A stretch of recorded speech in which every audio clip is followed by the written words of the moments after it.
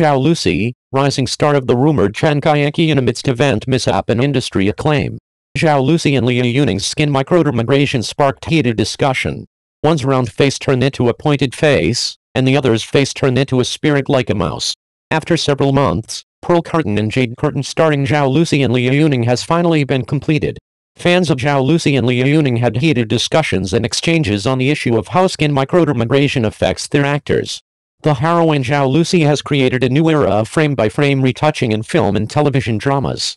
Not only did she forcefully change her big head from a round head to a pointed face in stars, she also made the same mistake in the new drama Pearl Curtain and Jade Curtain. It can be seen from Zhao Lusi's increasingly rounded cheeks that the food of the new crew is indeed quite good.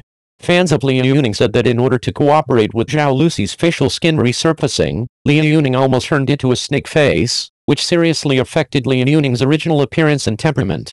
Some suspected fans of Zhao Lusi also posted that in order to cooperate with Zhao Lusi, the crew of Jade Curtain required all actors to lose weight and smooth their skin.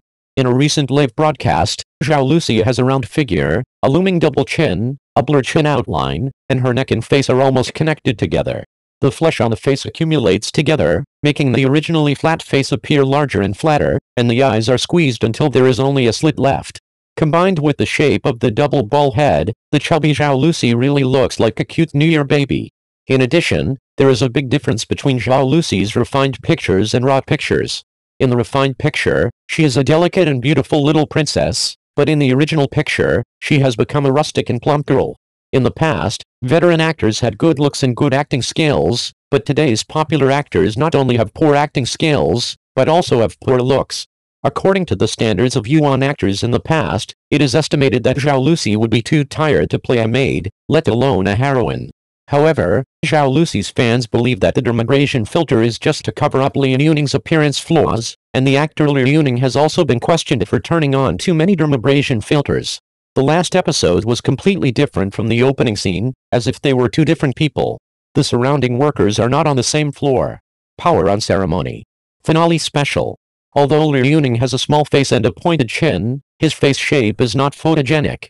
With the help of lighting filters and height, he looks very sophisticated. Once captured in close-up, the flaws in his appearance become apparent. His eyes are small, his face has vertical and horizontal edges and corners, and he uses too much force when speaking his lines, always giving people the impression of a familiar middle-aged uncle. Full stop. When she and Liu Shishi starred in Chan Union, Liu Yuning was questioned about using too much skin. As soon as the two appeared in the same frame, Liu Shishi's lying silkworm disappeared on the spot, and the beauty in ancient costume instantly became stiff and lifeless. Underneath the mask is an even uglier mask. A classic animation picture even earned Liu Yuning the title of Ugly Man in Ancient Costume. In the entertainment industry where aesthetics have been severely downgraded, ancient puppet fairy dramas have gathered a large number of popular actors whose looks, temperament, and acting skills are not up to standard. In order to create the false prosperity of beautiful women and handsome men, the producers had to add a lot of beauty to the finished product.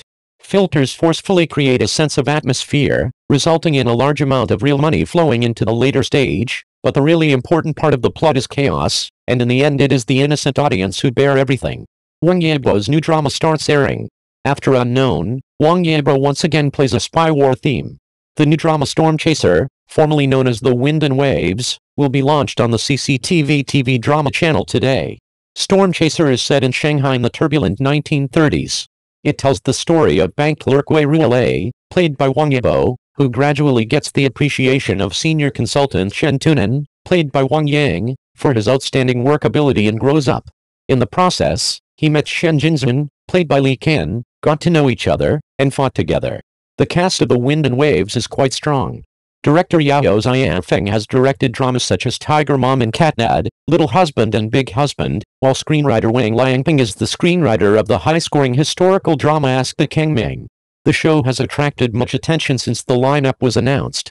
When talking about casting, director Yao Xiaofeng said that when he first met Wang Yibo, he was sitting in the corner of the office. He stood up immediately when we came in. He was very polite and a little shy. During the exchange, Yao Xiaofeng had been observing Wang Yibo's words and deeds. After the exchange, he felt, this is him. He has the character temperament I wanted, a very clean and young boy. Facts have proved that this choice was right. Chief producer Zhang Shuwei revealed, Wei Ruolei has a lot of scenes with long lines. Wang Yibo came to every scene after he had memorized his lines. All he talked about with the director on set was how to dig deeper into the character's heart. He never we would have to retake because we said the wrong lines. This kind of dedication was maintained throughout the filming of the whole drama, which was not easy and gave us a big surprise. Review. Previous issue recommended recommended. You only live once, love yourself. Reply 1988 is youth and the good old days that can never be returned to. Boss Mary Sue Literature, please stop.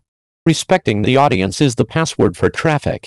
Electronic Pickle, 6 TV series adapted from the original works.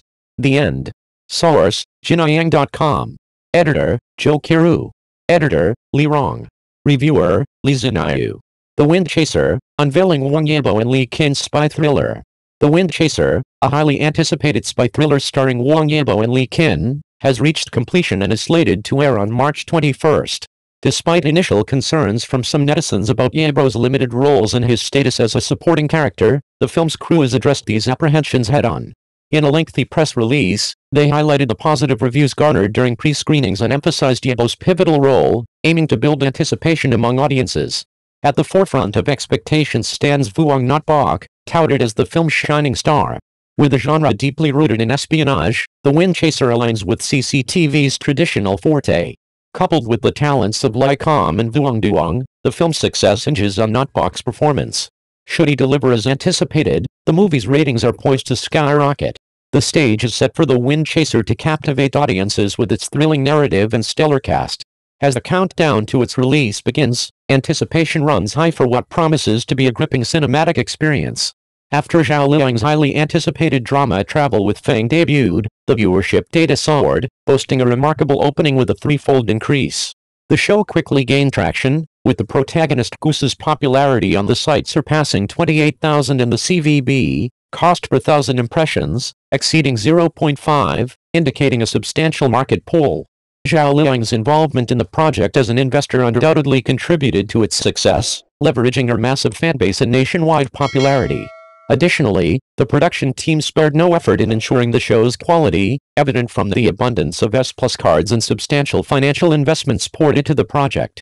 However, the ultimate fate of the series lies in the hands of the director and screenwriter, whose creative decisions will determine the trajectory of the plot moving forward. Meanwhile, Yang Zi's interactions with fans took a sour turn as marketing accounts sparked animosity among followers. Tensions escalated when two fans engaged in a heated dispute, dredging up past controversies surrounding the drama King and ZHI. While casual observers may view these exchanges with detachment, for dedicated fans, the focus remains squarely on the content of the show rather than its statistical performance.